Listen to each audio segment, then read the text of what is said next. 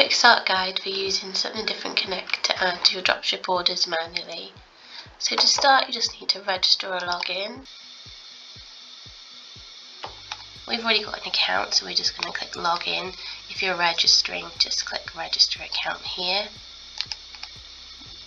Once you've registered or logged in you'll land here in the search products page and the first thing that you need to do is to update your information. So we just go into settings account settings and then here you need to update the information about you and your business. Just so that we can contact you about an order should we need to and also so that we can display the correct information about your business on your invoices. So once you've filled in this information you just need to click save and after you've done this you'll need to update your payment settings. Here in the payment settings section you'll need to add a default payment method. Even if you're using something different Connect manually to add orders, it's still worth adding a default payment method so that you don't have to enter card details every time you place an order. So just click add, select your card type and then input the information for your card. You'll notice that the button at the bottom says pay securely but at this moment no payment is actually taken. Once you click this button, the card details are processed by Trust Payments and your card information will appear here like this one. To make it the default payment option, you just need to hover over the card number and then a pop-up will appear to select it as your default and just click yes and save and then save again. Once you've updated your information, you just uh, need to find products that you'd like to sell. So if you go to search products, you from here you can use the search bar to look for items, use the categories or just scroll through.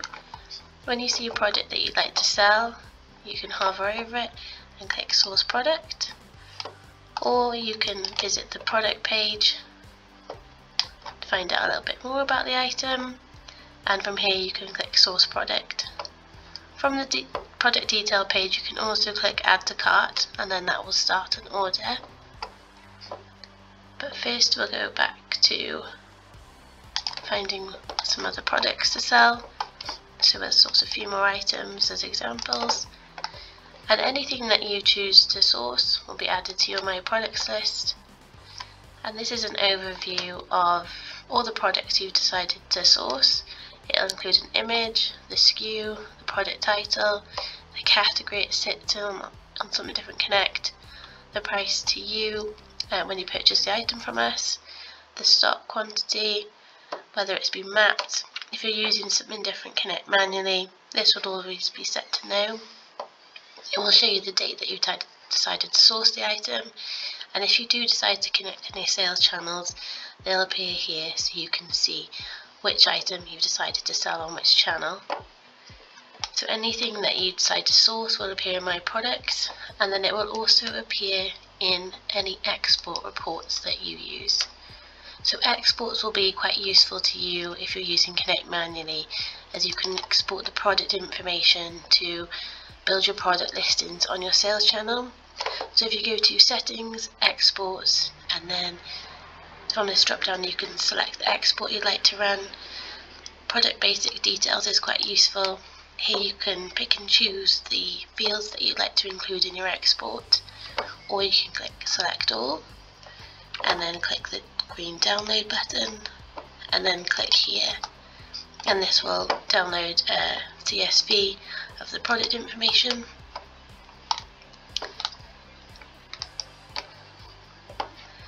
So once you've built your project listings and they're live on your sales channel and then you start to receive orders for those items, you'll need to come in to Connect and place an order for them. So if you go to search products, you can either place an order directly from the search products page by adding to cart,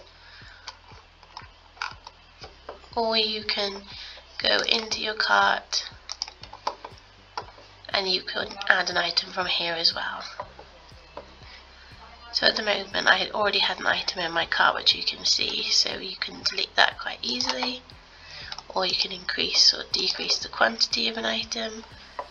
Once you've got everything in your cart that's on the order you need to proceed to checkout and here you can choose to self-address the order so it arrives to your delivery address or send it direct to your customer. So we're going to just put in an example and then you'll need to select the shipping service. We only offer one shipping service so that will be automatically selected and from here just click checkout. Here it will ask if you'd like to use your default payment method. If you click this little button and click pay it will use that to pay for the order or you can select to use another card however if you just close this you'll see that the order has been created but it just hasn't been paid yet so it's marked as order unpaid and not yet dispatched so if you'd like to pay for the order from here you can click the three dots you can view the order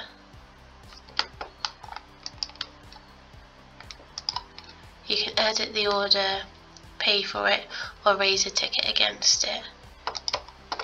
This screen you can find from the orders dashboard available in the left hand menu and this will eventually list all the orders that you've created.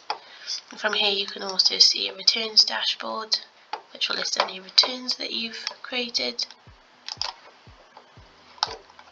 You can, once this is grown and you have a number of orders you can use different filters and you can also export your orders into Excel if you'd like to do any reporting on them.